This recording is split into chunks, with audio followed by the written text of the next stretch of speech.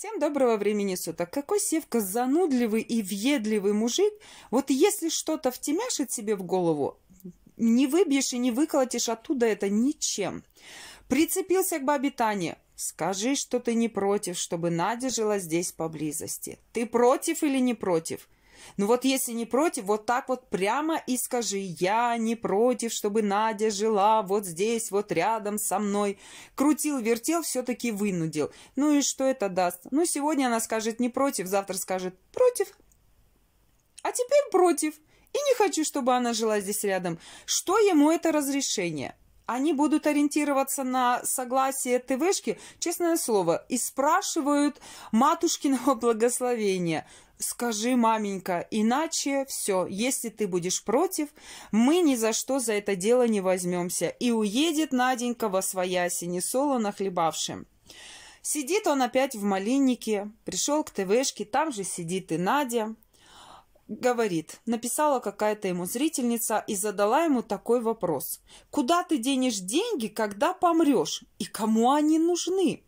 Ну, деньги можно тратить только когда человек жив. Когда человек умер, уже все, потратить не получится. Тратить эти деньги будут э, те, кому они достанутся, либо по наследству, либо нечестным путем. Ситуации разные в жизни бывают, но только не сам умерший человек. Уже для него будет все закончено.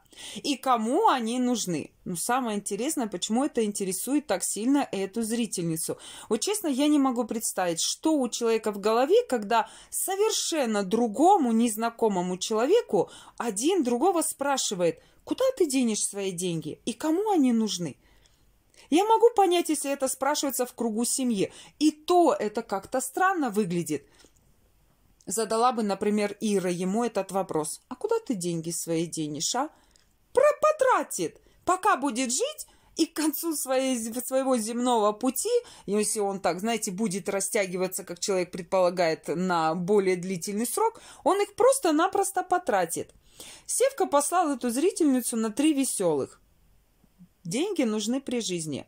И потом людям все равно, кому они достанутся. Сейчас Севка живет, зарабатывает, тратит на себя столько, сколько пожелает. Лучше иметь деньги на то, что человеку нужно, чем не иметь и бедствовать. Главное, чтобы навек человека хватило. Как-то так примерно люди, в принципе, и рассчитывают. Что-то откладывают там НЗ на черный день, как-то думают, надо бы хоть какую-то заначку себе иметь, чтобы потом в случае чего не ходить и не просить. Если, конечно, у кого-то так получается. В любом случае, нормальные люди всегда стараются иметь хоть какой-то маломальский запас – ну, напишет Севка кому-нибудь завещание, отметит, кому они достанутся. Не пропадут, если только они на тот момент у него будут. Уж Севка об этом позаботится. Вообще такое, знаете, странное было это видео. Вначале подняли тему о жизни, о смерти, о долголетии, потом начали вспоминать всех своих родственников, кто как умер. Надя кое-что там про себя начала рассказывать. Ну, давайте обо всем по порядочку. Стали вспоминать, как умер Олег. Господи ты, боже мой. Сколько уже времени прошло? Чего он им на ум пришел, я не знаю опять-таки в очередной раз хотели показать, какие они хорошие, добропорядочные родственники. Баба Таня говорит, Олега лечили за свой счет. Севка тоже такой, тяв-тяв, правильно говоришь, правильно, да. Когда, говорит, с ним беда случилась, баба Таня же ушла, Севка же к тому времени как-то разжился деньгами и сказал, так, мама, давай, снимай где-то тут поблизости к своей остановке квартиру и живи отдельно. По-моему, она там прожила всего месяца восемь, и все, Олег э, дольше не протянул. Баба Таня говорит, Позвонили мне, сказали, что он не выходит, и какой-то запах неприятный пошел из квартиры. Я пришла, открыла, он еще был жив, его забрали, пытались они каким-то образом его лечить, но ничего не получилось. Там через сколько-то дней человек скончался, и хоронили тоже, говорит Севка, мы за свой счет. И его, и его мать, да, говорит, сестру ТВшки, тетю Валю, тоже хоронили. Вроде бы сказать, ну, квартира же им досталась. Нет, не получилось, говорит, квартиру продали и все деньги отдали сыну этого Олега, хотя при жизни этот сын носа к папеньке даже не казал и узнал о смерти отца спустя какое-то время. Севка говорит, я платила за съемную квартиру матери, а она оплачивала комуслуги за ту квартиру, ну, которой она считалась хозяйкой, в которой жил Олег – и вот скажите-ка на милость, она знала, как это делать.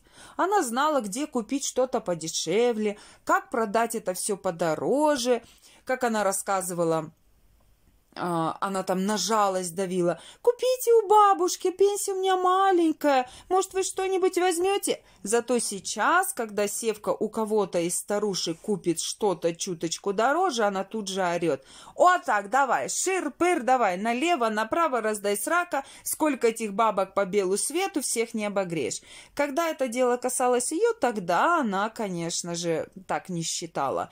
Она говорила, какие люди молодцы, вот чуть-чуточку больше мне оставили, а мне уже такая, знаете, ну, один оставил, другой оставил. Их такая существенная прибавка к пенсиям. Жила каким-то образом самостоятельно, а потом Севка довел ее уже вот такого, до овощного состояния. Если про просто по факту сказать, то они отдали квартиру эту просто так.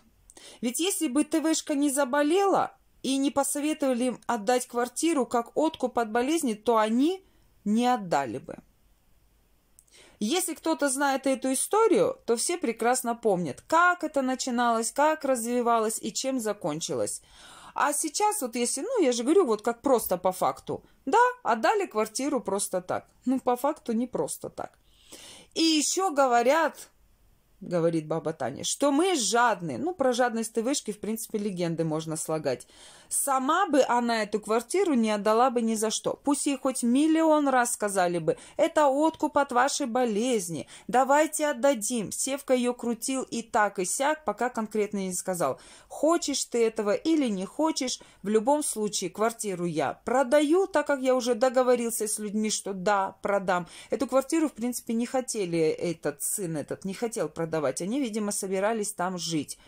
Но Севка говорит, я уже договорился, уже все, там купля-продажа начала оформляться, он уже получил какой-то задаток, и даже этот задаток он тоже отдал как честный человек, ну, получается, племянник, да. Рассказал Севка еще, что ТВшка бредила стенкой сестры и вообще полностью ее квартирой.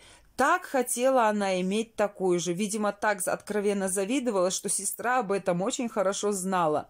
На что тетя Валя отвечала, ну, завидуешь мне моей квартире. Но если вы мне отдадите то, что у вас лежит на книжках, вот тогда, говорит, я отдам вам свою квартиру вместе со стенкой.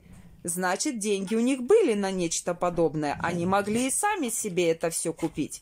Ну, от женщины, конечно же, многое зависит. Если бы ТВшка была разумной женой, то подвела бы к тому, что давай мы себе тоже купим квартиру в городе. Почему бы и нет? Ну, вот хочу иметь, как у сестры, квартиру. Давай возьмем.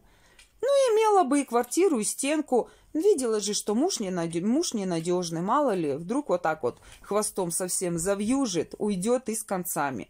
Но она как-то об этом не позаботится. Знаете, есть такие, а, все на... ну, ничего, нормально, там на книжках лежит, все, ничего не поменяется, у нас тут дети, и один ребенок, и первый сын, и второй, это второй сын, уже трое детей, он теперь намертво ко мне, ну, там где-то гуляет, но все равно ко мне вернется. А вот видите как. Не подготовилась, в общем, она к этому разрыву заранее. Севка говорит, ну, стенка и вправду была красивая. Ну, сейчас, конечно же, говорит, она ни к чему. Вот, говорит, у меня квартира. А ее там ставить-то ему и некуда. Ну, конечно, квартирка-то у него крошечная, они там с Колей ходят бочком. Далее стала Надя рассказывать, как она получила свою квартиру. Должна была, говорит, получить эту квартиру другая женщина, но она там что-то намылилась уезжать, и квартира освободилась. Ну и сказали, ну, значит, Надя, мы отдаем эту квартиру тебе.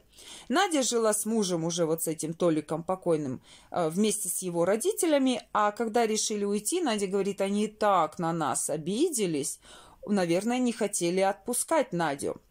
Ну и рассказала что, по поводу вот детей, то, что писали в комментариях, что Надя отбила из семьи, увела, а там больной ребенок. Надя говорит, никаких детей у мужа не было, а если бы были бы, то она и сейчас помогала бы этому ребенку, заботилась бы о нем, с удовольствием бы поддерживала общение. Ну, кто знает, кто знает. Может быть, вырос бы такой ребенок, что не захотела бы и видеть. Это все чистой воды ее фантазия. Она просто этого всего не испытала, и она не знает вообще, о чем она в принципе говорит. Ну, ей сейчас на данный момент так кажется, что любого она, вот пусть даже и чужой, не ее, но она бы с радостью приняла. А может быть и правда приняла бы. Ну, опять же, так история не терпит сослагательного наклонения. Если бы да кабы, может быть и так. Я не совсем поняла один момент. Как она попала на работу на севере? Я так поняла, что Толик был живой, а она ездила работать на север и там параллельно встречалась с каким-то мужчиной. Севка спросил, а он был женат? Ну, естественно, Надя, когда к ним стала ездить, она по секрету всему свету рассказала, что да, она там встречалась. Сама уже была вроде бы как в отношениях, и там встречалась с человеком, который был женат.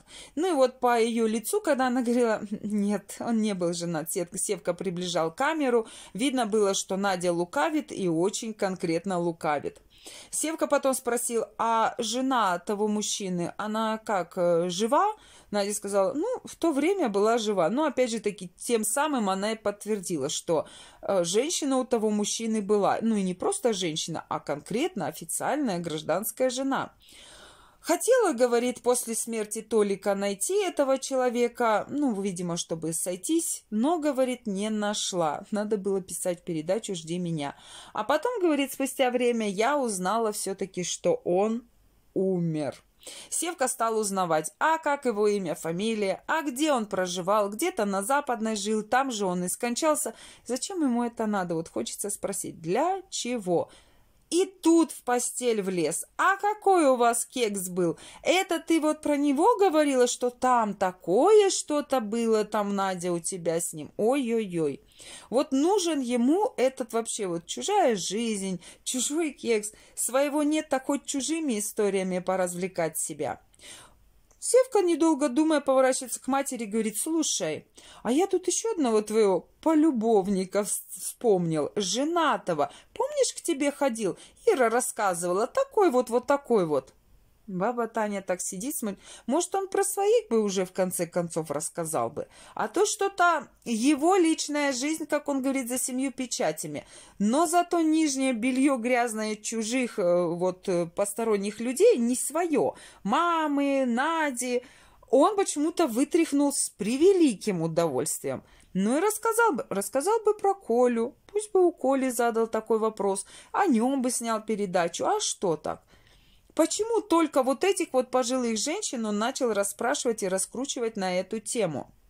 Вообще так рассказывали, что, знаете, не разберешься, кто с кем, когда и почему. Да и, честно говоря, я не знаю, ну, кому на самом деле, вот, в принципе, это может быть интересно.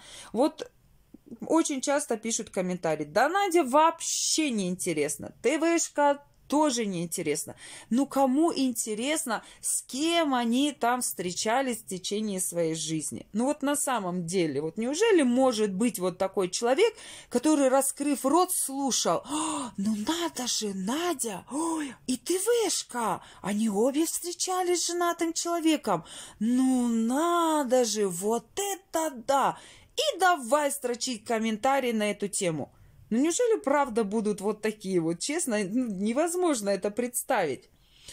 Это видео Хорошее воспоминание для тех, ну, кто не смотрел Севку, не знает историю о его брате, о том, что у ТВшки была квартира, каким образом она к ним попала, как они с нею расстались, почему ТВшка осталась без своего угла. Я помню трансляцию под названием «Брат Тютю», вот где Севка рассказывал об этом, а, вообще, в принципе, о том, каким был его брат этот двоюродный. Ну и после этого он еще долго говорил об этом, там, о похоронах, как он помогал помогал, как лечил. Ну, в общем, впереди планеты всей, конечно же, и он, и маменька. Всю жизнь всем подряд протягивают руку помощи, вытаскивают, спасают, а люди неблагодарны, не ценят того, что для них было сделано. И сейчас зрители слушают и не верят, а могли бы написать слова поддержки и сказать, какие же вы молодцы, а? Вот таких люди, вот такие люди, как вы, это ж вот на вас земля просто держится. Какие вы замечательные, потрясающие. Вот таким вот был мой обзор. На этом я буду его заканчивать. Всем спасибо за просмотр. Надолго не прощаюсь с вами. Всем пока.